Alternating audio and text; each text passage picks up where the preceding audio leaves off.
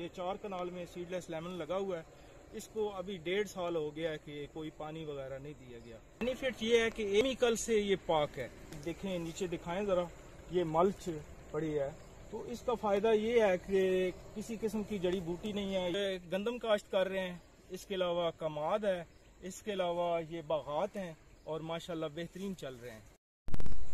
वालेकुम जी। जी वालेकुम सलाम। सर अपना तारुफ करवा दें। जी मेरा नाम इम्तियाज़ हुसैन पंजुथा है और सरगोदा से बिलोंग करता हूँ। सर जो आप काम कर रहे हैं थोड़ा इसके बारे में बता दें हमें। हमारा ये जो काम है ये ए, हमारे ग्रुप का नाम है दरख्त और ऑर्गेनिक खेती। और ए, ये जो काम आपके सामने ए, ये है ये पिकनिक पे है। पायदार कुदरती निज़ाम काश्तकारी। और इसके बानी हैं आसिफ शरीफ साहब। और ए, तो उस मेथड के तहत ये जो पौधे लगे हुए हैं, ये आपके सामने ये उस मेथड के तहत लगे हुए हैं। तो मेथड क्या है कि ज़मीन को आपने नंगा नहीं छोड़ना। जिस तरह अभी ये देखें, नीचे दिखाएँ ज़रा, ये मल्च पड़ी है। तो इसका फ़ायदा ये है कि किसी किस्म की जड़ी बूटी नहीं है यहाँ पे किसी किस्म का खाद नहीं डाला जाता। पानी जो है, इस पूरे ये चार कनाल में सीडलेस लेमन लगा हुआ है। इसको अभी डेढ़ साल हो गया है कि कोई पानी वगैरह नहीं दिया गया। तो कोई खाद नहीं दी गई और माशाल्लाह आप पौधों की रंगत देखें लश ग्रीन है। सर जो आप ऑर्गेनिक खेती बाड़ी कर रहे हैं। इसमें बेनिफिट क्या है? बेनिफिट ये है कि एक तो आप जो खुराक मुहैया कर रहे हैं ज़ाहिर है ज़मींदार है उसने खुराक मुहैया करनी होती है। तो केमिकल से ये पाक है। देखें गंदम है उसको भी आप केमिकल देते हैं जो फ्रूट है सिट्रस है उसको भी आप केमिकल यूज़ करते हैं। तो यहाँ पे किसी किस्म का केमिकल नहीं है। यानी केमिकल से पाक खुराक है ये। सर ऑर्गेनिक खुराक है बाकी पैदावार पे क्या असर पड़ता है पैदावार जो है शुरू में ये होता है कि ऑर्गेनिक में थोड़ी कम होती है। लेकिन जैसे जैसे हमारे ये परमानेंट रेज बेड हैं ये मेच्योर होते हैं और फिर खुराक जो है या प्रोडक्शन जो है वो बेहतरीन हो जाती है। सर ऑर्गेनिक तरीका कार से आप क्या क्या चीज़ काश्त कर रहे हैं? किस किस चीज़ को ज़्यादा प्रेफर करते हैं हम लोग गंदम काश्त कर रहे हैं। इसके अलावा कमाद है। इसके अलावा ये बागात हैं और माशाल्लाह बेहतरीन चल रहे हैं। सर ये बगात आपने किस चीज़ का लगाया हुआ है जो पीछे नज़र आ रहा है हमारे? बाग लगा हुआ है ये सीडलेस लेमन का है और इसको किसी किस्म की खाद नहीं डाली गई। किसी किस्म का कोई स्प्रे नहीं किया गया। और पानी भी बहुत थोड़ा लगा है यानी अभी डेढ़ साल हो गया है इसको पानी लगाए हुए। सिर्फ़ नीचे ये मल्च देखें ये मल्चिंग की वजह से यहाँ पे कोई जड़ी बूटी नहीं है और ना ही हमने कोई गोडी करवाई है। किसी किस्म की गोडी सर ये देखने में तो माशाल्लाह बहुत हरा भरा फ्रेश नज़र आ रहा है। बाकी पैदावार आपने इससे क्या लिया इसकी एज क्या है इसकी? इसकी तीन साल एज है और अभी जो ये फल दिखाया गया है ये इस पे फल लगा है ये पहले साल फल लगा है। और थोड़ा बहुत लगा है तो आपको पता है कि पहले साल फल जो होता है वो इतना अच्छा नहीं होता। तो इनशाला उम्मीद है ये सीडलेस लेमन है इसमें किसी किस्म का बीज नहीं है। और यानी उम्मीद है कि इससे प्रोडक्शन जो है जैसे खादों से लोग लेते हैं इसी तरह हम लोग भी लेंगे। इसमें अखराज में कुछ कम हो जाते होंगे? अखराज देखें कि आपको हर साल ट्रैक्टर चलाना पड़ता है। तो ये पिकनिक में किसी किस्म का कोई ट्रैक्टर नहीं चलाना पड़ता। ये अल्ट्रा हाई डेंसिटी पे पौधे लगे हुए हैं। ये चार कनाल जगह है और उसमें 260 पौधा जो है, ये सीडलेस लेमन का लगा हुआ है। 60 पौधे जो हैं, ये आपके सामने डेल्टाइटस है, ये पॉपुलर है। इसके लगे हुए हैं। इसी तरह ये सफ़ेदा भी लगा हुआ है और बहुत कुछ इसमें सीडलेस लेमन लगाया लेमन ग्रास लगाया हुआ है और आड़ू लगा हुआ है इसमें। इसी तरह बहुत सारे पौधे लगाए गए हैं। सर आपसे कोई रब्ता करना चाहे तो आपका रब्ता नंबर। मेरा रबता नंबर ये है कि मेरा यूट्यूब चैनल है दरख्त और ऑर्गेनिक खेती के नाम से और उसमें हमारी तमाम वीडियोस भी मौजूद हैं और उसके अलावा मेरा फ़ोन नंबर और पूरा एड्रेस उसमें मौजूद है। इसी तरह फेसबुक पेज है वहाँ पे भी दरख्त और ऑर्गेनिक खेती के नाम से। चलें सर आप अपना नंबर बोल दें हम भी अपने स्क्रीन पे आपका नंबर चला देंगे। जे ज़ीरो तीन सौ छः पाँच सौ बहत्तर चौदह पचपन। बाकी सर थोड़ा आप जंगलात के बारे में गाइड करें जो आपने जंगलात लगाया हुआ है इसका क्या प्रोसीजर जंगलात के बारे में ये है कि ये हमने डल्टाइटस लगाया है पॉपुलर और ये आप दिखाएँ कि एक, एक साल का पौधा है और ये कितना बड़ा हो गया।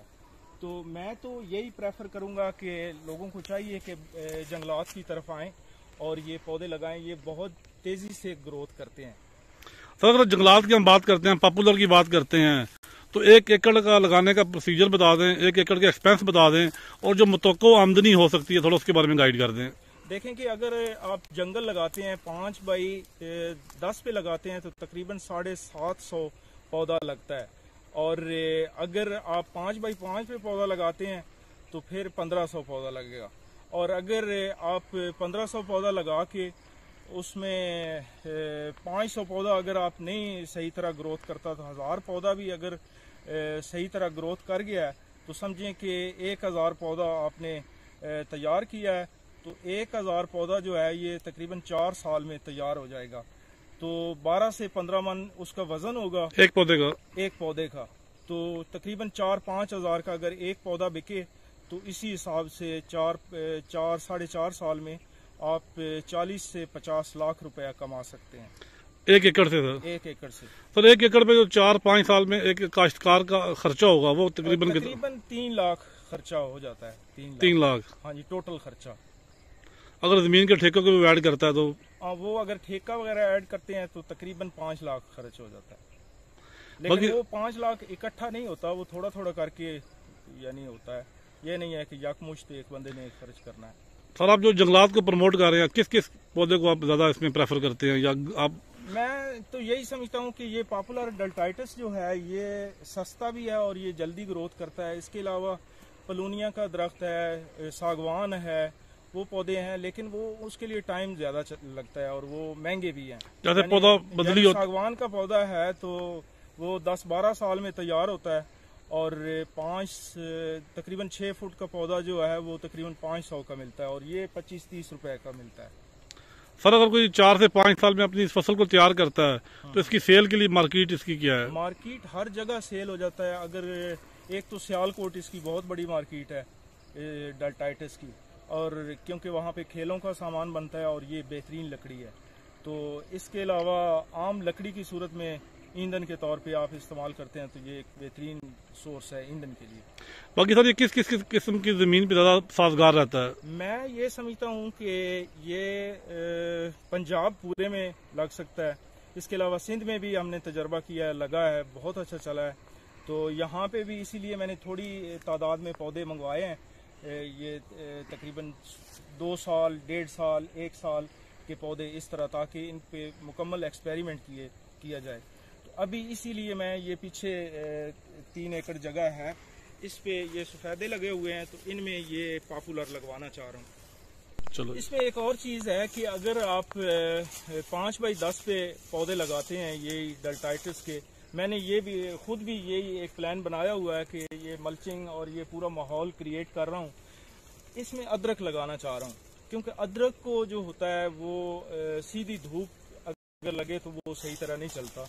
तो सायादार जगह जो होती है अदरक के लिए बेहतरीन है। तो उसी के लिए मैंने ये माहौल उसके लिए बनाया है। तो दोस्तों से यही गुजारिश है कि आप अदरक जो है, इसको लगाएँ।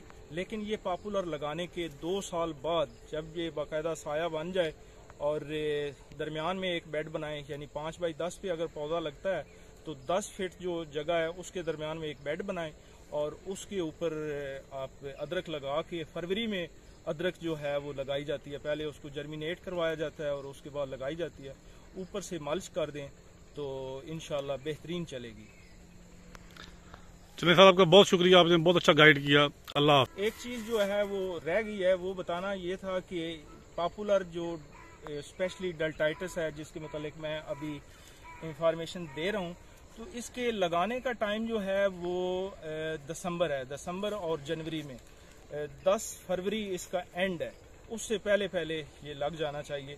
चाहे आप कलमों की शक्ल में लगाएँ, कलमें जो हैं वो भी तकरीबन तीन, साढ़े तीन रुपए में मिल जाती है और ये जो पौधा है, ये भी पंद्रह से तीस रुपए तक मिलता है। लेकिन इसके लगाने का टाइम जो है वो दिसंबर, जनवरी और 10 फरवरी से पहले पहले। यानी दो महीने दस दिन इसके पास होते हैं। सर्दियों में लगाना चाहिए। बहुत शुक्रिया सर अल्लाह हाफिज़। बहुत शुक्रिया।